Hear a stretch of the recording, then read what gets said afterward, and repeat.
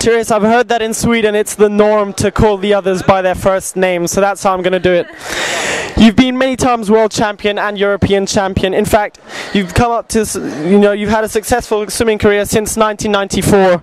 Uh, it's wonderful that you've come to Dubai to compete at the short course world championships, and now you're here again. So, how many competitions do you swim a year? I, I'm, since I've had a long career, I've had I've had the seasons when I've gone to a lot of competitions just for the aim of keeping motivated and working and practicing my skills. But this year, I haven't raced that much, so I'm very happy to be able to come here and swim long course because I've had a long had a, I've had a long period just training, and now I'm out of breath. Excuse me. But yeah, no, it's wonderful, and the pool here is amazing. So I'm very happy to be back. Well, I'm sure Dubai is very happy to hear that. Hopefully, you'll be coming back in the future again. Um, what are you preparing for now? At the moment, we've, we've done a long build-up season, and we'll start racing in June, heading towards the World Championships in July in Shanghai, which will be the main goal of the season.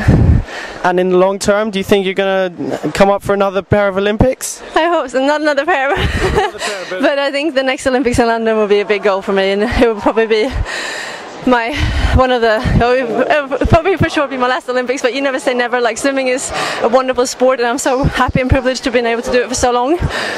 And it's I still learn. I still think I can evolve and get better at many things. So it's fun. Well, uh, Michael Phelps, another swimming legend, he's changing his uh, events a little bit for the Olympics. We know what your favorite events are here. What do you reckon you'll be swimming in London? I've actually followed his lead. No, I haven't. But, but last year I added the 100 fly to my program. I've always liked the 50 fly, but that's an Olympic event. So since last summer I started swimming the 100 fly, and it's been pretty good so far. so we'll see. Yeah. Now, you've already mentioned motivation. How do you, over such a long period of time, how, how do you keep yourself motivated? Um, do you have any tips for the younger swimmers here? Yeah, it, th- there's not a universal thing that works every day, but for me, it's been to keep take one step at a time and really keep one day at a time in mind. So you never, you don't think of the long task. It's very exhausting to think about all the training you have to do from now on until my next big competition. So I just try and do the best and most out of every day.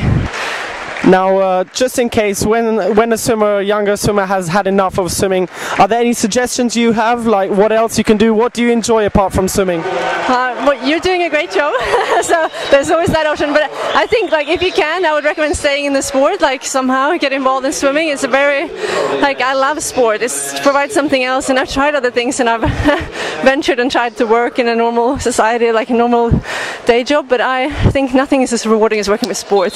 You get emotions, and you get to experience things and passion, which is hard to find in other areas, I reckon.